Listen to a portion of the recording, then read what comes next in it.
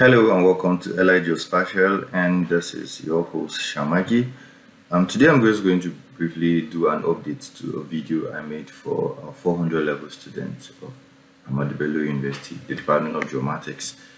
Alright, I made a video last year and I named it GEOM 421. So this video I'm going to just make an update and I'm going to uh, make it a GEOM 421 update. So the current 400 level can look at it and it will help them okay to achieve something. So i have a video i made on how to download uh, satellite imagery using SAS Planet.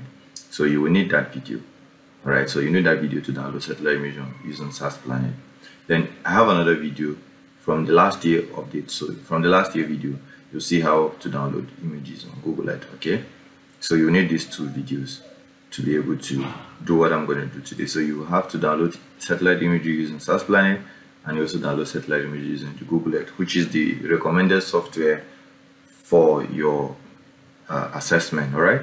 So um, I'll drop the link to those videos on the description of this video. So now what next is that you're going to bring in these two images. I have these two images that I'm going to be using. All right.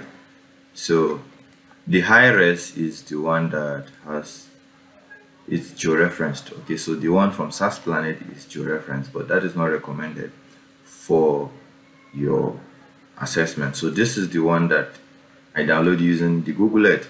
This is for your assessment of the same area just that one has more coverage than the other. This is one kilometer by one kilometer as stipulated on your instruction manual all right?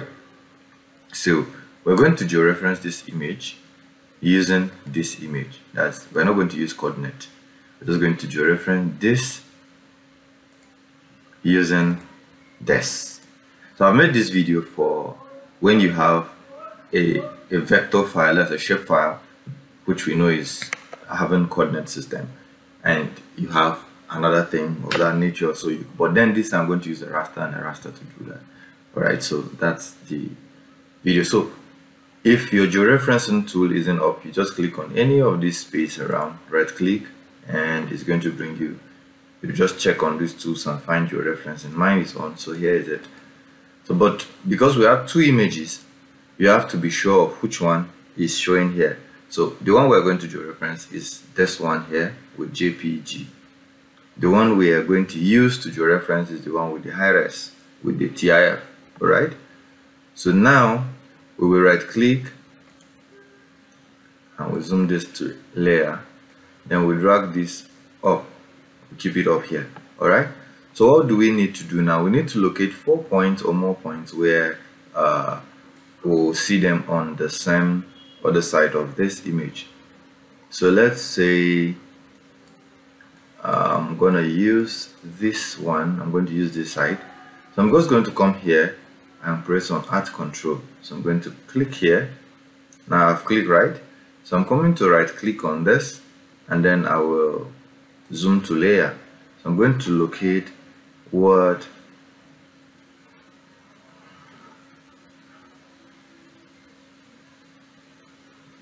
So I'm going to click here. So next I'm going to zoom this to layer again and I'm going to locate another point so here I'm going to locate something.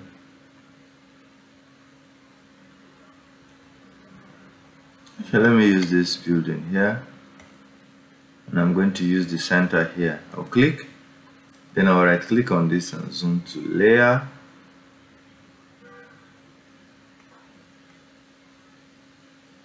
So I'm going to uncheck this and then zoom this to layer right?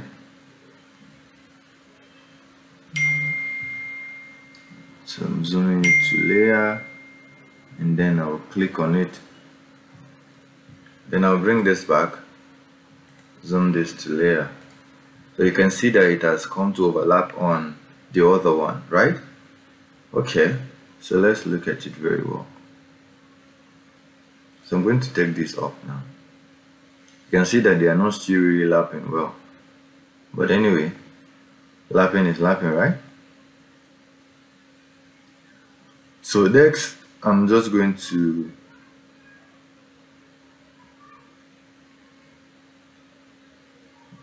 I'm going to click find another thing. So let's go down to the stadium site here.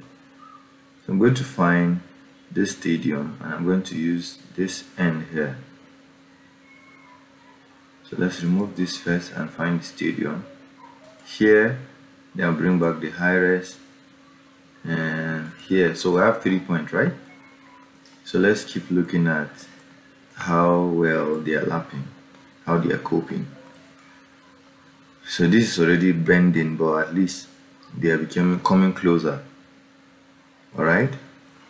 So uh, next is we're going to look at what else? Another thing. It has to be from the one that is not having spatial reference to the one that is having spatial reference all right so take note of that. So I'm going to come here and I'm going to click on this junction. So I'll bring this up and find the junction. So it is this junction. Okay so we have four points but let's look at how they are doing really. So we still have a small gap here. So let me see. Still have small gap. So, so we can locate more features we can add more actually. We can add more right? So let's look at what we should be adding. So I'm going to take from here to here.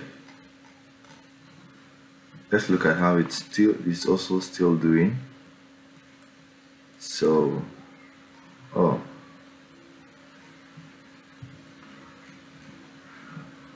So you can see the difference now. It's in small space right? Okay so that's how you can easily georeference an image. So let's add more so that we keep increasing the accuracy of what we have all right so I can see this and this. So I'm going to click I'm going to click here then I'm going to bring it here. So we can see that the accuracy is also increasing. I've made up to how many points I've made up to how many points? I made up to seven point I think. Minimum is four. Maximum is as many as you can all right so the most important thing is that your image is georeference and easily done all right so once i'm satisfied with this result uh, we'll just easily come to georeferencing. Rectify georeferencing. So just rectify and i'm going to i'm going to come here. I'm going to come to this work folder. So I'm going to create a new folder or anything. Let me just put it inside this Abuja. So I'm just going to put it in this Abuja folder. And uh, I'm going to name it that location name. Okay it's going to be 3 I'm going to click on save. So this will convert that file with everything that it has and also save it as a format TIF so once that is done I'm just going to go back and click on update georeferencing so once I've updated georeference I can now uh, this is now georeferenced so let's remove this and bring the one we have. The one we have georeferenced. So we have this and then you can see it's now having TIF on it. So see that the two are on the same spot. All right so this is briefly what i want to show you on the georeferencing. So i'm going to also take another time to make a video on how you can digitize. I think there's nothing much for me to show you.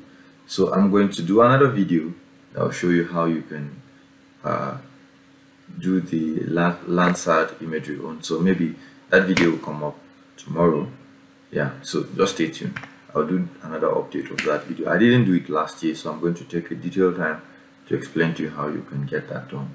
So stay with me and go nowhere. So 400 level, this is for you. I'll see you in the next video. So bye bye for now.